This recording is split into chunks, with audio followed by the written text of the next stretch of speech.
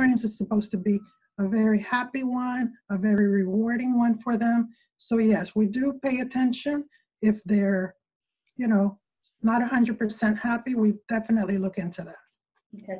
And to come back to my previous question was about the behavior. How do you do check the behavior while you are doing the screening for the students you're going to choose for the yes. Right. One way for me to check their behavior is on the report card because I have online access to view their grades. And I also talk once a month or more to the school counselor just to find out if is the student arriving to school on time? Is the student turning in their homework? Is their student being respectful to the teachers? So every month I have to ask those questions to the school counselor. Mm. And of course, I ask the host parents the same question. Is the student helping with the chores that they have? Is the student being respectful? Are they, you know, getting along well with their host family, the brother and the sister in the house? And uh, basically, that's how I check in. And I also ask the student themselves, how are you doing? What's happening? What have you done that's new? Can you share it with me? How, how are you feeling? You know. Okay. So once a month or more, I do engage with, with the family, the student, and the counselor from school. It's, it's, it leads to my next question, which was, uh, what, how do you target your family, the host family? How is how do you choose which one going to be a perfect fit with this kid you have, you already screen, and you know it's a good fit? How do you know this family could be a good fit? Is it more like right. a meeting with the, the, the the kid in that family or is it more like the mom host or what how does it work? How do you make the matchmaker in this situation? Yes. During the application program when the host family is filling out the online application i will ask them can you please share with me what are some of your hobbies activities interests that you and your family have? So for example if the family is into soccer or basketball football movies art theater I take that into consideration when I'm looking to match them with the student that's in our program because every student in our program also completes an application and in their application they have to tell us the same thing. They have to tell us what they like what hobbies. They also have to tell us what they would not like. For example some students would not like to live with a family that smokes cigarette for example. So we do take families from all walks of lives all shapes, all colors. We do not discriminate. Um, we have families that have mother and father, or just single mother or single father. excuse me. also, um, excuse me, same sex couples, empty nesters. Could we take a little pause? Yeah, sure. My apologies. Okay. So basically, as I was saying, we do not discriminate. And the only thing that uh, the, when the family completes the application, they're also filling out a back, criminal background check online. So we check to see if they have a police record. And of course, we would not place our student with them, with, excuse me, with a family that has a police record.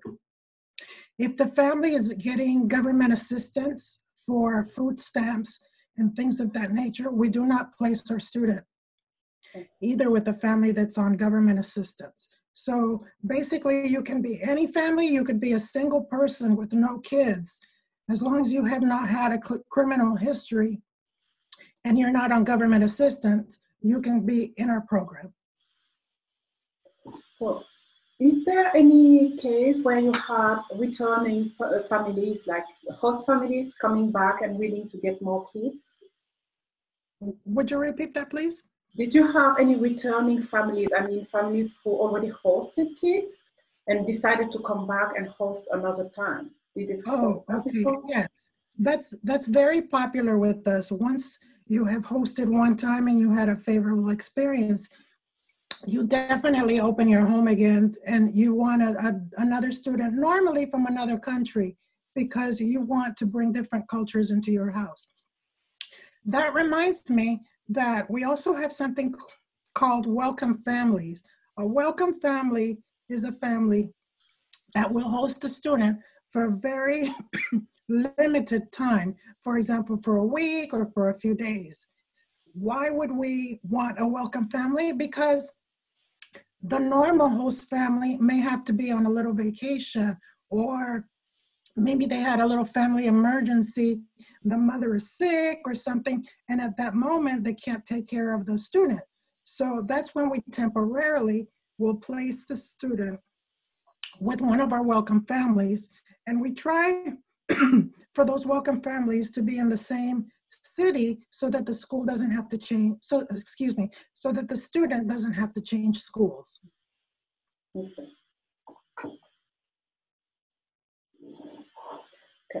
Uh, do you have a special program or something about the cultural, to avoid the cultural clash? Do you have something like, I don't know, a meeting or something to prepare the kid to the new culture?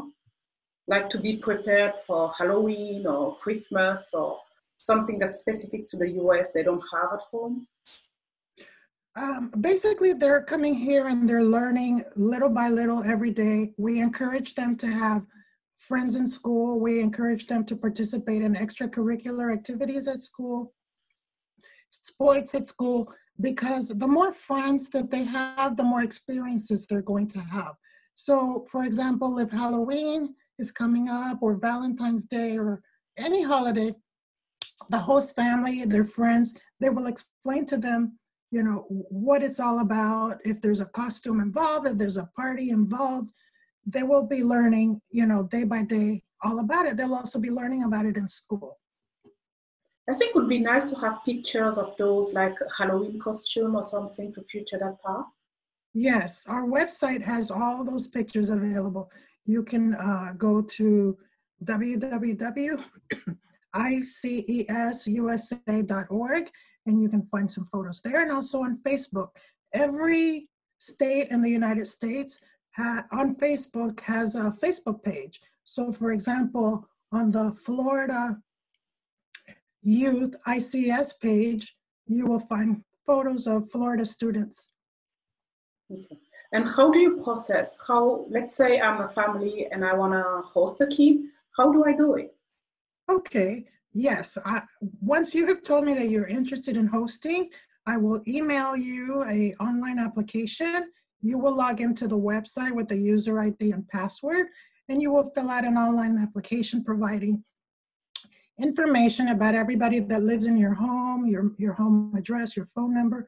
There you will also list some of your hobbies, your activities, things that you like. You'll answer some questions. You'll also provide three references of three people that I can call, whether they be your It's 14 hours. Your coworkers or uh, best friend that I can talk to to find out information about you. Um, part of the process is that you will click on a link to answer some questions that have to deal with the background check, with the back, criminal background check. And anyone that is 18 years old or older living in the home has to pass the background check. There's also a, a home visit involved where a local coordinator like myself, we go to your home and we inspect the house. And what we're looking for is basically to make sure that the home is safe, that the home is clean.